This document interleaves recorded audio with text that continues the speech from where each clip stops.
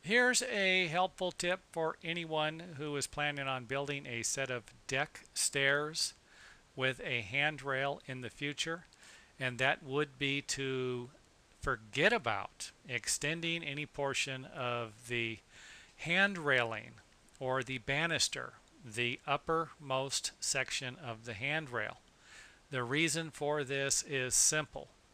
It is to avoid anyone getting caught on the handrail. And again, you're probably thinking, what the heck are you going to get caught on? Could you imagine a woman walking up this stairway with a purse, um, whether she's just hanging on her arm? You know, she's she's got the purse on her right, um, hanging off of her right arm, while at the same time she's grabbing the banister. Well, trust me, um, this isn't the only thing. Purses get hooked on these things, and uh, of course, coats do also. Large jackets I've even seen people get their sleeves from a regular t-shirt um, caught in one of these things. So again, uh, Ripley's Believe It or Not, what the heck? Okay, I might have made up some of that stuff for theatrics, but uh, hey, they are dangerous.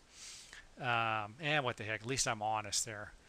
Um, so again, if you're building a deck with um, a handrail like this, try to avoid um, leaving anything possible that could catch someone's clothing or a purse.